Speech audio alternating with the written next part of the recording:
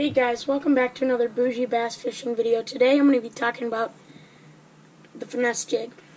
I like the finesse jig just because it's a great post-spawn bait, in my opinion.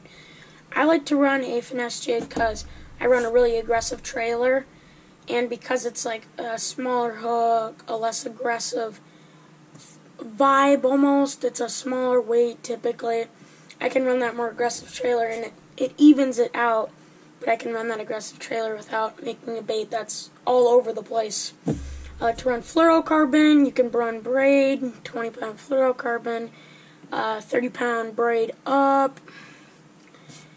Uh, I use a Palomar knot, and my trailer is a green pumpkin Googan Baits Kraken Craw because I feel it's got the most aggressive um, twitch to it as opposed to the bandito bug, which is just a little flutter.